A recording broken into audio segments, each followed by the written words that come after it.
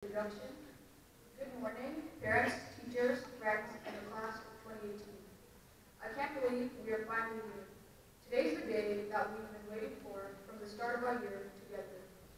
It is one of those great occasions where we get to celebrate our achievements, our perseverances, and our successes. We have a chance to reflect on our memories and plan for the future. For, for teachers and parents, it's a good time to relax knowing that the kids you care about and are, are on the right path. Now we'll talk a little bit about my class. 8A isn't your usual grade 8 class. When I close my eyes and think of 8A, I see a loud and boisterous group of students. Despite what you may see or if you happen to walk by, just walk by, you're a really great class. We all care about each other. We motivate each other to get out of bed each morning and come to school. All of us are unique in our own special way. We've had some great times together. One of my most memorable events was when we brought back a gold medal and a banner for the school in football. When we come back and visit, we can always look up and see our accomplishments.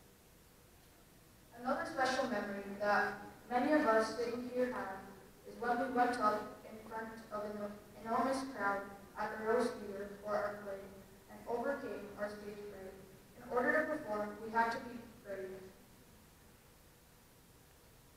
Graduates, you should know that your parents are very proud of you today.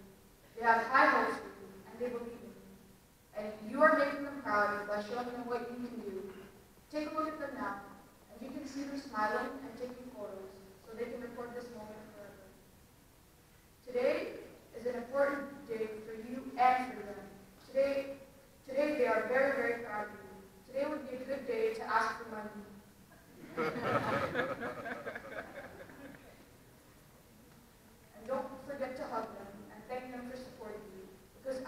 this is your achievement, this is also the achievement of the people who care about you.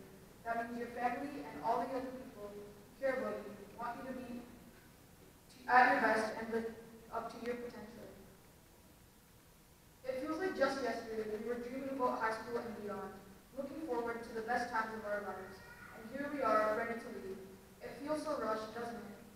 Today is the day